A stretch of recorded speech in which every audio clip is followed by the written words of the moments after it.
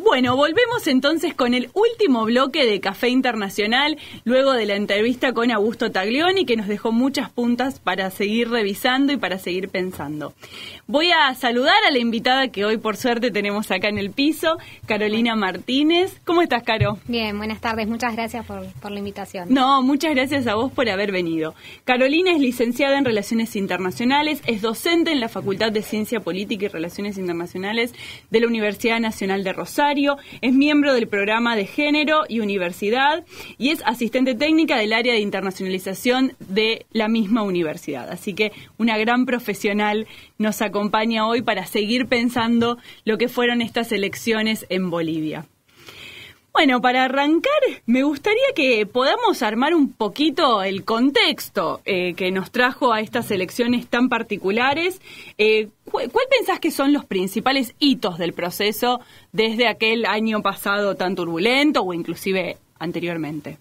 Bien, yo creo que como hito eh, fundamental eh, lo tenemos que ubicar en febrero del 2016, cuando se realizó el referéndum para reformar la Constitución y que permitiera a Evo Morales y, Álvaro García Lineras volver a, presentarse en un cuarto mandato. Y en ese referéndum gana el no, o sea, gana la opción por la no reforma constitucional y que Evo y Álvaro no se pudieran presentar si bien parece más allá lejos en el tiempo, yo creo que em, ese resultado marcó un antes y un después, que eh, luego, desde, desde esa fecha, de febrero de 2016 hasta las elecciones del año pasado, eh, la oposición logró eh, articularse y la campaña de, de, Evo y de Álvaro estuvo fijada en poder presentarse a las elecciones eh, con una actitud reeleccionista que, que, incluso va en contra de la propia eh, vocación del pueblo boliviano, que nunca tuvo una actitud a favor de este tipo de, actitudes.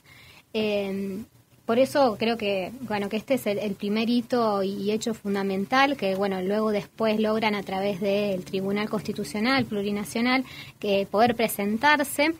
Y esto fue generando en todos estos años como un, caldo de cultivo o que la situación llegara a, al día de las elecciones eh, ya con una crisis social y con una con una sí, una sospecha, por así decirlo. Sí, una pérdida de legitimidad. Sí, pérdida de legitimidad y sospecha de fraude que ya se hablaba desde semanas anteriores. Entonces fue muy difícil después, a partir de los hechos que se suscitaron ese mismo día, cuando se suspende el conteo rápido de votos, que, que, en ese momento daban eh, la opción de un posible balotaje y después al día siguiente se anuncia que Evo finalmente había ganado, fue muy difícil eh, eh, que la población, digamos que la población no calara la, la idea del fraude. Tal cual. Más allá que después haya comprobado, digamos, de, de, que, no eso no fue así, y, hoy por hoy creo que los hechos del domingo también así lo demuestran, en ese momento salen a las calles, en primer lugar, grupos radicalizados de derecha y, y aquellas capas de la sociedad blancas y urbanas, pero también salen a la calle sectores populares, sobre todo de Potosí, y sectores que en su momento habían sido parte de las bases del movimiento al socialismo. Creo que este, esto no, no es un dato menor porque fueron, digamos, un montón de factores los que confluyeron a eh, radicalizar las protestas y las movilizaciones que se dieron desde el 20 de octubre del 2019 hasta, bueno, el 10 de noviembre que, que finalmente termina dimitiendo eh, Evo y, Álvaro. Sí, que también me parece a mí eh, muchos factores hubo en este proceso de elecciones para evitar eso, digamos, cuando Áñez rápidamente reconoce a Arce, yo entendí, al menos yo entiendo que eso fue un llamado a que las calles no se crisparan, digamos. Sí, estábamos todos el domingo muy pendientes. Eh, sobre todo, a, mí me, impresionaba mucho la cantidad de, eh, bueno, de militares y de policías en las calles, porque eso es una provocación, digamos. Tal cual. Claramente eh, era una provocación y estamos, bueno, estábamos expectantes de, que no se armara lío, por decirlo no académicamente hablando, digamos, pero porque justamente el pueblo, el pueblo sufrió muchísimo todos estos meses tuvo que aguantar muchísimo, o sea, la persecución, la crisis económica, la crisis sanitaria. Entonces, eh, creo que es un triunfo del pueblo boliviano, eh, la tranquilidad con la cual se sucedieron las elecciones el domingo y que no hayan reaccionado a esa provocación y que todo se haya dado en un clima de, paz y, de tranquilidad. Sí, yo comparto con vos sobre todo esto que decís. Me parece que el punto de, cuando discutimos el tema de la humillación, eh, no sé si ustedes recuerdan eh, el año pasado cuando habían pintado a toda mm. una alcaldesa que ahora va a ser senadora. Patricia Arce. Sí, mm. es, esos cambios, esas imágenes tan fuertes y tan humillantes a lo que el más representaba, porque no nos olvidemos que también Camacho ingresa con la Biblia, digamos, todos esos... La quema de la Wilpa. Tal cual, todas esas grandes, eh, digamos, ejes significantes del imaginario social boliviano que también se vieron en juego y que creo que también eso, eh, con esto que veníamos hablando de Augusto, de, la capacidad que tiene el más de ser eh, nacional, se vieron reflejadas en las elecciones. Pero a mí me gustaría que hablemos un poco más de nuevo y pensando en esto de la región y lo último que estuvimos discutiendo, ¿qué responsabilidad le cabe a la OEA y al Magro con todo lo que sucedió en Bolivia?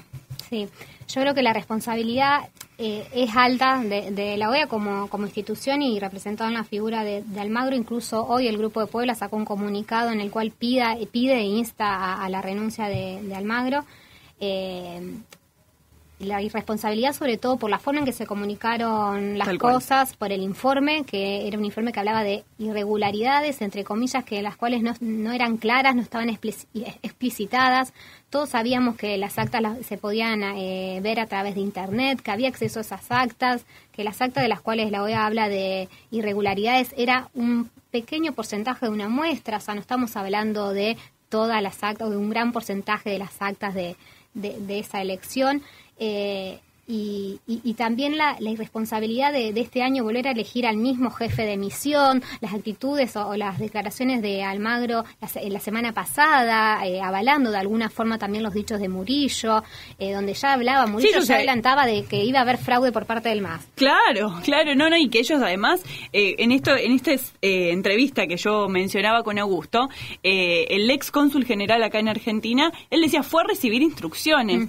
Con todo eso, imagínate algunos también llegó a las elecciones como muy preocupado. Eh, pero bueno, la verdad es... Eh, es lamentable la situación de la OEA. Bueno, lo hemos visto también con las diferencias que hubo con la Corte Interamericana de Derechos Humanos. Viene, eh, el organismo viene con su legitimidad muy golpeada. ¿Vos pensás que es factible que renuncie Almagro? En opinión personal, acá es periodismo, ya no estamos en la academia. No, lo sé, él está como una actitud, incluso su mensaje en, Twitter felicitando a Arce parecía realmente eh, eh, cómico, en el sentido, bueno, nos estás tomando el pelo, ¿no? Pareciera como... Eh, yo no, lo veo con, ganas de, renunciar, pero bueno, puedo, viste que no se sabe. Claro, sí, sí. No, sabemos. también me gustaría preguntarte un poco con esto que veníamos discutiendo de los liderazgos. Eh, ¿Qué elementos te parece que tiene que capitalizar Arce para consolidar ese liderazgo? Eh, no solo teniendo en cuenta eh, la contracara que es Evo o lo que significa Evo, sino la tensión que existe entre Evo y el vicepresidente electo, que ahí tenemos un binomio complejo también. Sí, yo creo que eh, ahora estamos todos con la euforia y la alegría del resultado de las elecciones, pero siento que este es como el, el pequeño primer paso para, eh, porque bueno, volvió la democracia en Bolivia, lo cual no es un dato menor, pero es el primer paso eh, para volver a reconstituir un país que está muy golpeado económicamente. Eh, por la crisis sanitaria también del COVID, socialmente, la, se profundizó mucho más la grieta y la división racista, no solo social, sino también racista en el país. Entonces, Creo que Arce tiene un desafío, bueno, y Choquehuanca también, un desafío muy amplio por delante de llamar a la unidad, de consensuar también con, con distintos sectores de la sociedad, propios y ajenos. Y también creo que, eh, dado también por la historia misma de, Bolivia, eh, el pueblo va a volver a salir a la calle si así, así lo siente. No me refiero solo a, bueno, a los opositores al MAS, sino también a las propias bases eh, para reclamar o hacer escuchar y oír su, su voz eh, con lo cual eh, creo que, va a tener que ser capaz de, llamar a la unidad, de consensuar. Eh, el otro día escuchaba a Fernando Mayora que hablaba, bueno, de que se va, digamos, se estableció un nuevo sistema de partidos en Bolivia, entonces, bueno, hay que ver cómo también el Parlamento juega ahí un papel. Y, eh, y bueno, y ojalá que pueda también construir un propio liderazgo más allá de Evo y que, como decía Augusto, Evo sepa ubicarse en, claro, en, la palmera. en su nuevo rol, ¿no? Porque eh, las bases eh, lograron, lograron resistir y lograron también ser muy autocríticos y, y rearticularse eh, en, el, eh, en el campo de batalla, digamos, ahí, ahí, en Bolivia, que no es lo mismo que estar en Buenos Aires desde el exilio eh, arreglando las cosas. Y bueno, entonces creo que, ahí va, va, a haber que mediar entre Evo que puede ubicarse sin dejar de tener un rol, porque él ya tiene un liderazgo carismático per se. Claro, sí, sí, eso son inevitables también. Y, y, Arce tiene el desafío también de gobernar un país que, en, que está en crisis económica. Que es una situación distinta a cuando él fue ministro de, Economía, crisis sanitaria y social, así que bueno, tienen... Eh, esperemos que... ¿Sabes que En esto me gustaría preguntarte una última cosa, lo, prometo. Pasa de que este tema dio para mucho. Yo puedo hablar horas. Eh, de, lo que es el, em, el MAS o en general estos movimientos mayoritarios y progresistas sin su líder originario. Mm. Digamos, ¿hay más sin Evo? Más allá de que ahora haya ganado Arce, ¿no? Sí, sí. ¿Hay más eh, sin Evo? Me lo vengo preguntando hace muchos días. a ver, eh, por ahora la respuesta eh, es sí, pero yo creo que el tiempo nos lo dirá, digamos. Hasta hace un par de semanas estaba en dudas en, cuanto a la respuesta. Creo que hoy podríamos decir que el proyecto pudo trascender al líder. pero bueno, hay que ver estos años, estos próximos años, cómo se desenvuelve Arce, cómo se desenvuelve Evo, y ojalá que sí, que, el proyecto pueda trascender y que Arce también logre entender eso y no quiera dentro de cinco años volver a perpetuarse en el poder. que no cometa los mismos errores. cometa los mismos errores que, hoy con el diario del lunes eh, eh, es, fácil hablarlo, pero a veces pienso, ¿no? Lo que se, por ahí se podría haber llegado a evitar Tal si, cual, sí. si Evo y Álvaro hubiesen tomado, digamos, hubiesen podido elegir un sucesor antes de las elecciones del año pasado, ¿no? Tal cual. Bueno, muchas gracias, Carolina, por haber venido. Muchas gracias por tu análisis, como siempre, muy pertinente. Bueno, esto ha sido Café Internacional. Eh, les voy a repetir una vez más nuestras redes sociales. Nos pueden encontrar en Twitter, en Café Radio FM, en Instagram, en Café Internacional y en Facebook, Café Internacional CIEP. Intentamos darle una vuelta a este complejo mundo, siempre mirando desde Argentina y desde América Latina. Nos vemos el jueves próximo. Hasta la próxima.